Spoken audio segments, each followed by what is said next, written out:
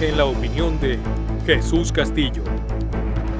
El pasado martes 27 de junio estuvo en Morelos la aspirante a la coordinación de la defensa de la Cuarta Transformación, Claudia Sheinbaum Pardo, y tal como lo habíamos pronosticado, hubo una auténtica cargada hacia su persona, por lo que está más que claro quién será la próxima presidenta de México.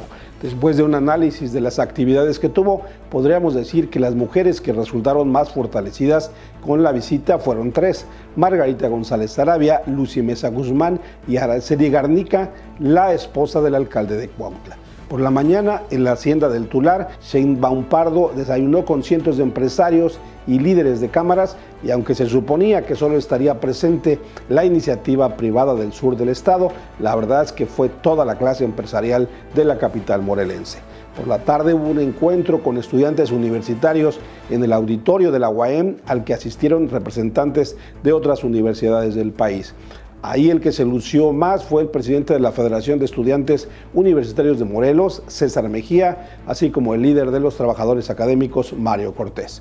Para comer, Claudia no escogió un lujoso restaurante ni la casa de algún funcionario, sino una fonda cerca de Cuautla. Los Carrizos se llama, y al parecer fue recomendación de la primera dama de Cuautla, Araceli García Garnica pero como era tarde de chicas, la doctora Claudia le habló a sus mejores amigas y así fue como hicieron su aparición Lucy Mesa Guzmán y Margarita González Arabia.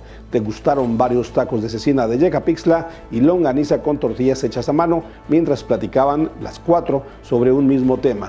Es tiempo de las mujeres. Luego se dirigieron al evento multitudinario en pleno centro de Cuautla, donde cientos de personas esperaban a Claudia al grito de Presidenta, Presidenta o el nuevo eslogan, es un honor estar con Claudia hoy.